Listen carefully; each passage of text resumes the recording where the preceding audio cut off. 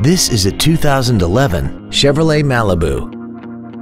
This car has an automatic transmission and an inline four-cylinder engine. Its top features include a multi-link rear suspension, traction control and stability control systems, XM satellite radio, and a tire pressure monitoring system. The following features are also included.